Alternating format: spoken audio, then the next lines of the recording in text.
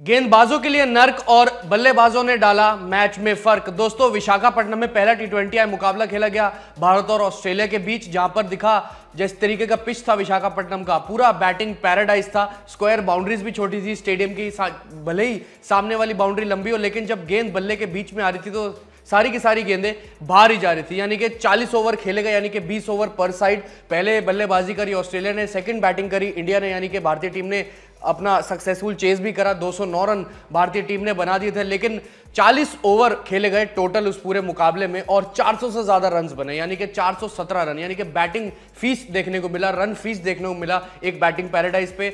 गेंद बहुत अच्छी तरीके से बल्ले पर आ रही थी, चाहे वो तेज गेंदबाज हो, चाहे वो स्पिनर की हो, क्योंकि कोई भी ज़्यादा टर्न देखने को नहीं मिला स्पिनर्स के जो है, तरफ़ से। और अगर आप गेंदबाजी की बात करो तो अगर आप स्लोअर वंस डालते हैं स्पिनर धीमा गेंद छोड़ते हैं, बल्लेबाज से अगर गेंद दूर रखते हैं, तभी कुछ कोई ना कोई हो सकता था कि बचने का उनके पास सिलसिला होता, लेकिन उसके अलावा कोई भी बचने का चांस नहीं था। तभी तो जॉश इंग्लिश ने जो है 220 के स्ट्राइक रेट से 50 गेंदों पे 110 रन मारे। बहुत ज़्यादा छक्के लगाए उन्होंने, बहुत चौके लगाए। अगर हम चौके छक्कों की बात करें, इस पूरे ओवरऑल 40 ओवर के मुकाबले में, यानी कि 20 ओवर पर साइड मुकाबले में इस टी गेम में कितने लगे?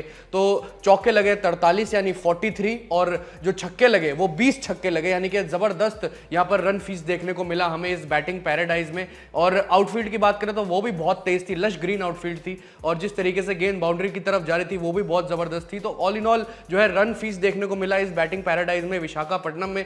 सूर्य कुमार यादव की पारी की बात करें, बयालीस गेंदों में अस्सी रन की पारी उन्होंने खेली एक सौ नब्बे के स्ट्राइक रेट से। बहुत खूब उन्होंने पारी खेली, उनकी गेंद, उनके बल्ले पर भी जो है गेंद बहुत ज़बरदस्त आ रहा था। और ईशान किशन की बात करो, उन्होंने भी 50 प्लस रन की पारी खेली, बहुत अच्छी पारी थी। एंड में आके जो रिंकू सिंह ने फिनिश किया, वो भी बहुत ज़बरदस्त था और उन्होंने पूरा का पूरा इस्तेमाल किया। देखिए इंटेलिजेंस लगाइए किस तरीके से इस पिच पर बैटिंग करनी चाहिए थी और आउटफील्ड का भी उन्होंने बहुत बढ़िया इस्तेमाल किया, क्योंकि एक जब गेंद एक बार आउटफील्ड में जा रही थी तो रुकने का नाम नहीं ले रही थी। अगर आप पहले बल्लेबाजी करने वाली टीम की बात करें, ऑस्ट्रेलिया की तो शुरुआत में स्टीव स्मिथ ने भी जो है फिफ्टी प्लस रन की पारी खेली, पर लेकिन सारी जो महफिल लूट गए ऑस्ट्रेलिया की तरफ़ से, वो जॉर्ज इंग्लिश जिन्होंने मेडन हंड्रेड बनाया उस मुकाबले में भारत के खिलाफ। पर दोस्तों, आपकी क्या राय है इस बारे में कि 40 ओवर, जो है, में 400 प्लस रन बने, यानी कि 417 रन बने, चौके लगे 43 और छक्के लगे 20 और ज़बरदस्त बल्लेबाजी का प्रदर्शन देखने को मिला। तभी तो मैं, मैंने शुरुआत में कहा कि गेंदबाजों के लिए नर्क और बल्लेबाजी ने इस मुकाबले में डाला फ़र्क।